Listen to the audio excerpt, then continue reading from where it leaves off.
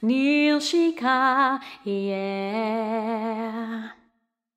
One happy birthday dot com.